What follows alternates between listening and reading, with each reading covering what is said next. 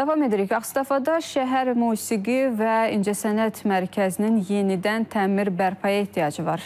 Sakinlərin sözlərinə görə bir neçə gün əvvəl əsən güclü küləkdən sonra vəziyyət daha təhlükəli olub. Onlar bunun bədbəxt hadisə ilə nəticələnməyindən narahatdılar. Məsələ ilə bağlı əməkdaşlarımız araşdırma aparıb.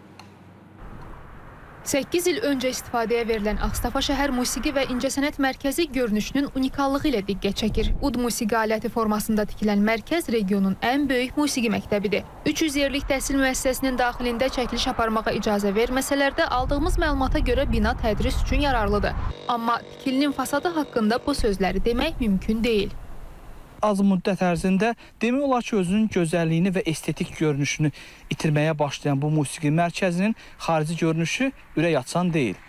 Həm də bina olduqca qəzalı vəziyyətdə olduğundan bura gələn şagird və müəllimlərin də həyatı təhlükə altındadır. Sakinlərin dediyinə görə bir neçə gün əvvəl əsən güclü küləkdən sonra vəziyyət bir qədər də pisləşib. Düşmə təhlükəsi olan piltələr hər an bədbəxt hadisəyə səbəb ola bilər. Yaxın günlərdə mənim maşınımın üstünə düşdü o. Yuxarıdakı baxırsınız nə gündədir. Elə bil müharibədən çıxıbdı. Örtük nə, üstü bilmirəm nədir. Bütün maşınımın qabağını e, əzmişdi.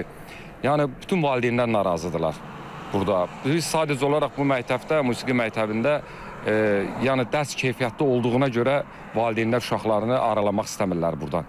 Hər gün keçəndə mən hər dəfə buraya baxıram ki, yəni Şəxsən qorxuram mən ki, yəni Allah göstərməz. Hər şey ola bilər də uşaqlarda. Təhlükəli olan elə binanın özü, qırağı.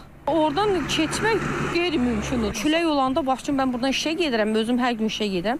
Elə düşdüyünü də görmüşəm. Əlbəttə ki, insana, uşağa, qıraqdan sakinlər də keçir bu yolla.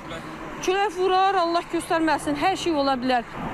Sakinlər tez bir zamanda binanın fasadının əsaslı təmirə ehtiyacı olduğunu deyir. Əks halda baş verə biləcək xoşa gəlməz hal qaçılmazdır.